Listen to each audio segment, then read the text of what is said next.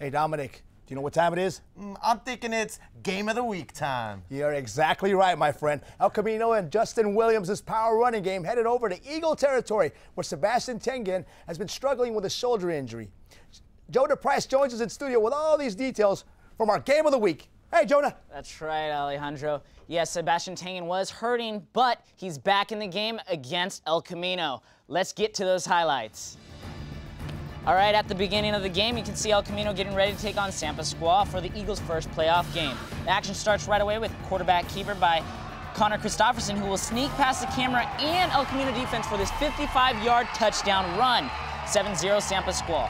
El Camino isn't going down without a fight, though. Chris Beauchamp to Corey Bogans for this 19-yard touchdown pass. Amazing.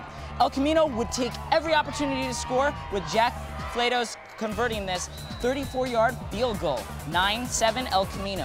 El Camino's not done yet. In the second quarter, the rock will be given to Justin Williams, who will run it 46 yards for the only touchdown he made that night. Sebastian Tengen now takes the field, quickly throws it to Jawan Thomas, putting the Eagles back in the game, bringing the halftime score to 16-13 El Camino. The energy from the fans carried on over to the third quarter for San Pasqual here with Chris Christopher, uh, with Christopherson's pass to Grant Huffman. Final score here, 20-16, San Pasqual.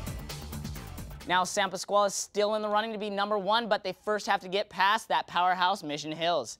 Back to you, Alejandro. Thank you so much for that report, Jonah.